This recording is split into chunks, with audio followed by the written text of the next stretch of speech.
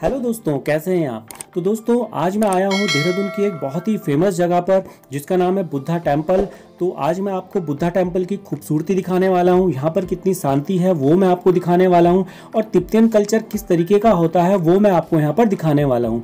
तो बुद्धा टेंपल के अंदर मैं जाऊँगा, वहाँ पर अंदर वीडियोग्राफी, फोटोग्राफी करना अलाउ नहीं है, लेकिन मैं कोशिश करूँगा कि मैं आपको एक्सप्लेन कर सकूँ। तो दोस्तों, यहाँ से हम सीधे अंदर आते हैं। ये सामने आप एंट्रेंस गेट देख रहे होंगे इसका, और लेफ़्ट साइड पर यहाँ पर पार्किंग है। और पार्किंग के बगल में ही यहाँ पर अगर हम सीट जाते हैं तो यहाँ पर बुद्धा टेंपल का एंट्रेंस है। तो आप देख सकते हैं, ये खूबसूरत टेंपल बुद्धा टेंपल और इसका जो निर्माण है वो 1965 में शुरू हुआ था और कहा जाता है कि इसको बनने में तीन साल का वक्त लगा था। तो दोस्तों, यहाँ से ये इसका जो मेन एंट्रेंस गेट है, वो है यहाँ से हम मंदिर के लिए कैंपस के लिए एंटर करते हैं। और दोस्तों, इसे एशिया का सबसे बड़ा रोलिंग मिनरोलिंग मोनिस्ट्री भी कहा जाता है। मतलब एशिया का सबसे बड़ा बौद्ध मठ है यहाँ। विश्व के सबसे बड़े बौद्ध स्तूपों में से एक प्रसिद्ध स्तूप यहाँ पर स्थित है, जिसका निर्माण 28 अक्टूबर 2002 में किया गया था।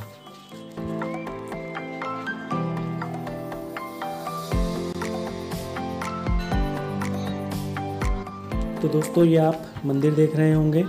पीछे देहरादून वैली की नेचुरल ब्यूटी आपको यहाँ पर दिख रही होगी और इस मंदिर को मैं यहाँ से लेफ़्ट साइड राइट साइड से मैं आपको यहाँ से इसको गोल राउंड में पूरा का पूरा कवर अप कराऊँगा और कहाँ कहाँ पर क्या क्या चीज़ें हैं, वो मैं आपको यहाँ पर पूरा का पूरा दिखाने वाला हूँ।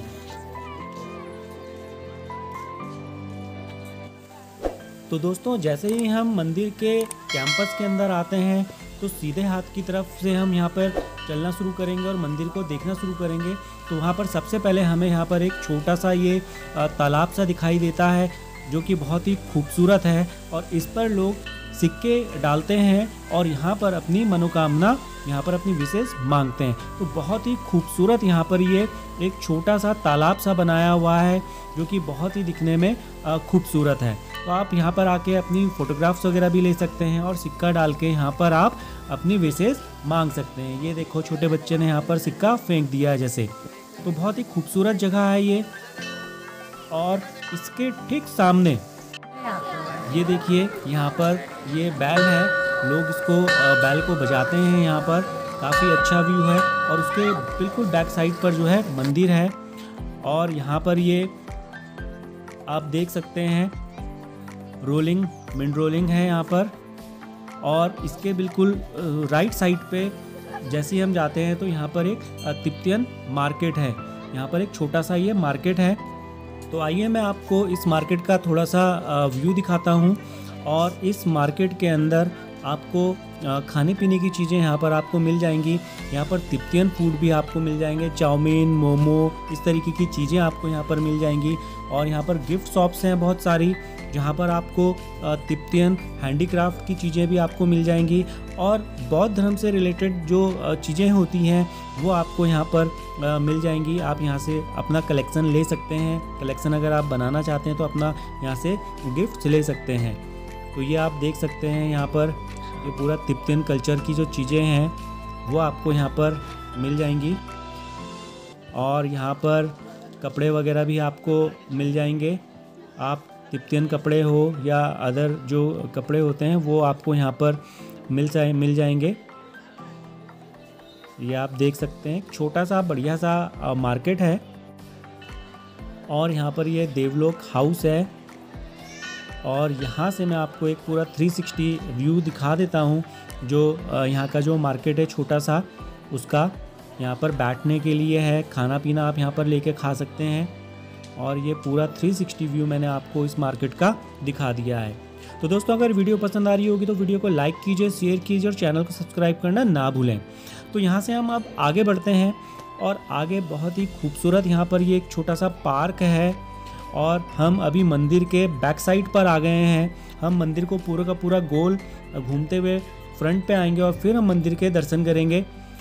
और ये मंदिर का बिल्कुल बैक साइड है, जहाँ पर दीवार में बहुत ही अच्छी पेंटिंग्स वगैरह यहाँ पर बनी हुई हैं। तिब्बतियन कल्चर और बौद्ध धर्म की जो चीज़ें हैं वो यहाँ पर हैं। और सामने एक यहाँ पर मर्सडीज़ गाड़ी है, जो कि आप पढ़ सकते हैं यहाँ पर विश्वगुरु परम पावन चौदहवें दलाई लामा जी के शुभ नाम पर हिमाचल राज्य में 24 अप्रैल सन 1986 में उनके आगमन पर उनके प्रयोग के लिए इसको, उनके नाम से इसको रजिस्टर्ड किया गया था। वो इसी में सैर किया करते थे इधर आने जाने के लिए। तो ये मर्सिडीज़ गाड़ी है, जिसे 6 जुलाई 2019 को यहाँ पर स्थापित किया गया था।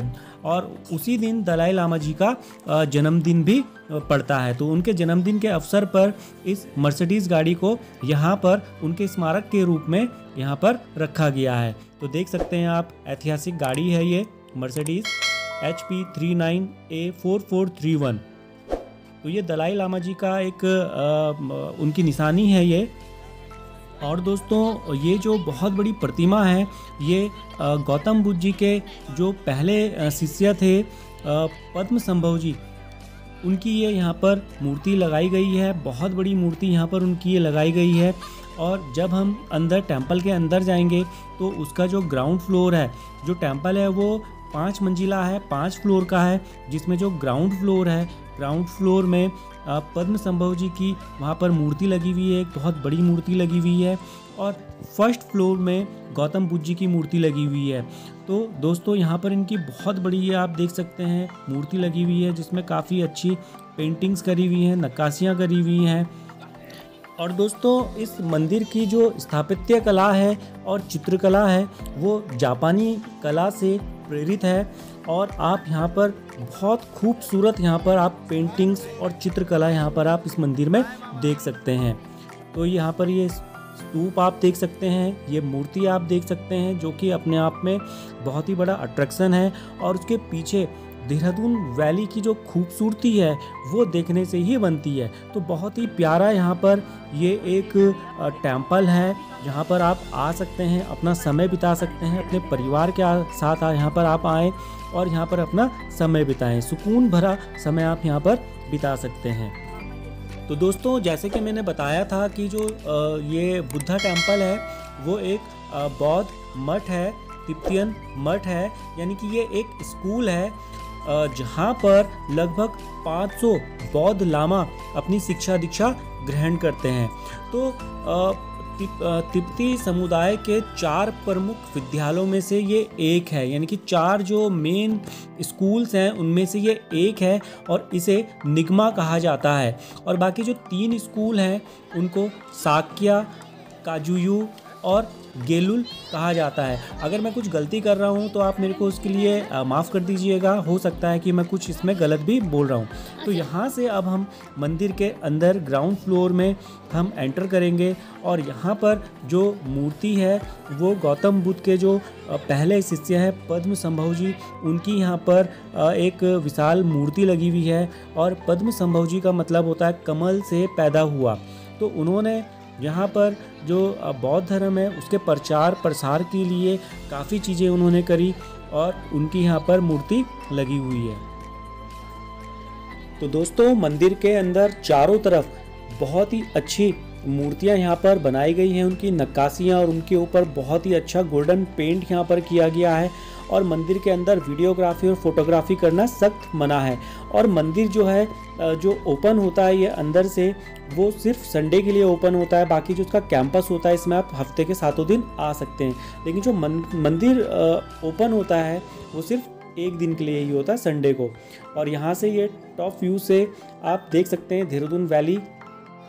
और यहाँ पर जो उसका फोर्थ फ्लोर है, वहाँ से आप देहरादून का 360 व्यू आप वहाँ से ले सकते हैं, लेकिन वहाँ जाना आज अलाउ नहीं था तो इसलिए हमने मंदिर के बाहर से ही आपको जो कैंपस है मंदिर का, उसका एक व्यू दिखा रहा हूँ। ये लेफ़्ट साइड का व्यू है, जो कि आप देख सकते हैं, बहुत ही खूबसूरत है। और यहाँ से मैं अब आपको राइट साइड का व्यू दिखाऊँगा।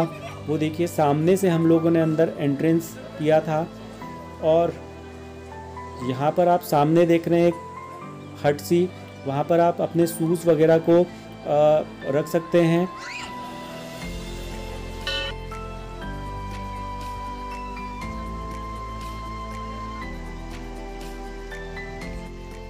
तो दोस्तों, अगर आपको वीडियो पसंद आ रही हो तो वीडियो को लाइक कीजिए, शेयर कीजिए और चैनल को सब्सक्राइब करना ना भूलें।